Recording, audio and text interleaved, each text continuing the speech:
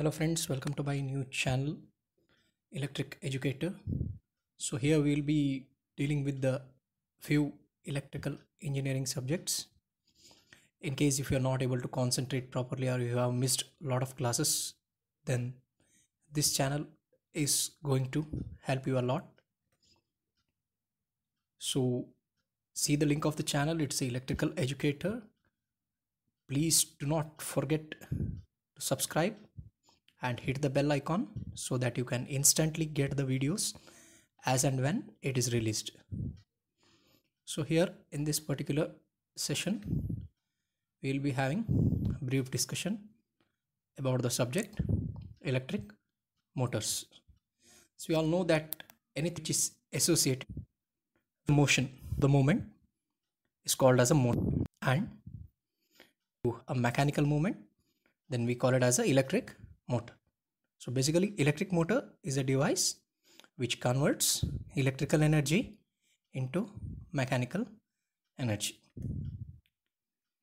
So the objectives of this particular course is to study the constructional features of motors and select a suitable drive for specific application. So we know that we have two different types of supplies ac and dc and also depending on the availability of these supplies the type of motor is being used. Now for what particular application which type of motor is to be used that we can study from this course. To study the constructional features of three phase and single phase induction motors. So the 90% of the motors used in the industries nowadays are three phase induction motors. So it is necessary for us to understand what is the constructional features of this these motors so that if we are interested in machine design we can remodify the existing designs and develop a more efficient motor. So to study different tests to be conducted for the assessment of the performance characteristic of motors. So basically we know that none of the devices are 100% efficient because there is always losses associated in electrical machines so various tests have been conducted in order to identify what are the losses in the machine and what is at different loads. So to study the speed control of motor by different methods. So there will be different application which requires a variable speed processing. So in such cases we need to have a suitable setup to control the speed of any type of motor. So various motors have different types of speed control techniques that we shall be studying.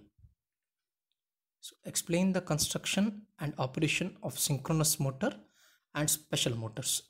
So synchronous motor are the motors which are basically used for constant speed applications and we shall be dealing with it for some time and other than that there are certain special motors which are called as brushless motors stepper motors servo motors linear induction motors which are the recent trends for different applications. So we will be having a little discussion on those motors also. So after studying this course a student will be able to explain the construction, operation and classification of DC motor, AC motor and special purpose motors. Describe the performance characteristics and application of electric motors. Demonstrate and explain the methods of testing of DC machines and determine losses and its efficiency. Control the speed of DC motor and induction motor the starting methods equivalent circuit phasor diagram torque angle effect of change in excitation and change in load hunting and damping of synchronous motors. So for this particular subject i'll be referring the following textbooks.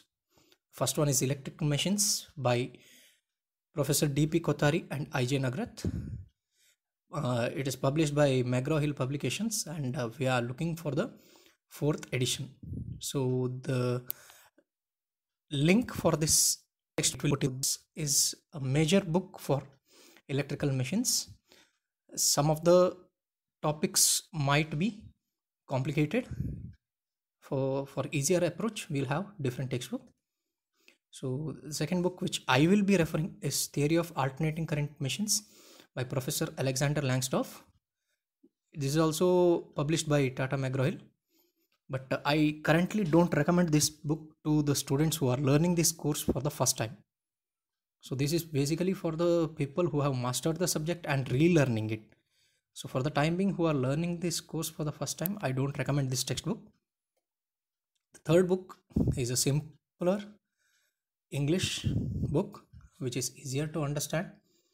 So it is Electrical Machines by Professor Ashfaq Hussain, published by Dhanpat Rai and Co. Second edition, 2013. So the link for this book also will be put up in the description. So these are the things which we will be dealing in our upcoming classes. So until then, don't forget to subscribe the channel and hit the bell icon. Thank you.